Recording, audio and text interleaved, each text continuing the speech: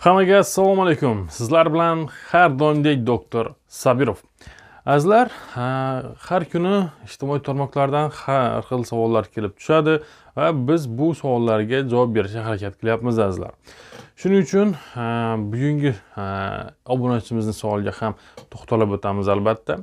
Endi qarang azizlar, obunachimiz savol bergan, ya'ni Э, ayolim bilan jinsiy aloqa payti э, ko'kragimda ehtiroslarim kuchli bo'ladi. Uni yalatsam э, bo'ladimi ko'kragimni deb aytyapti. Albatta o'g'il bola yozyapti buni. Qarang. Erkaklarda ham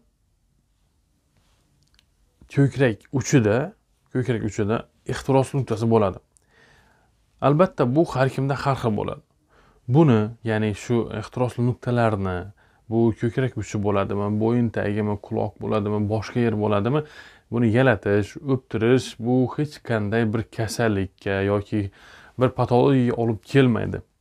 Bundan xavotirlanish shart emas. Azizlar bu normal holat.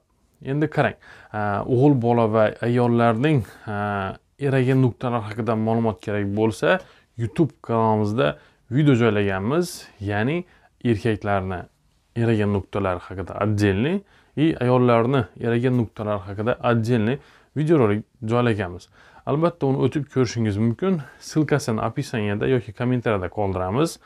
Albatta o'tib bilib olishingiz mumkin. Azizlar savollaringiz bo'lsa kommentariyada albatta yozib qoldiring. Albatta o'qib javob berishga harakat qilamiz. Sizlar bilan doktor sabirov bo'ldi. Kanalimizga obuna bo'lish esdan chiqmasin.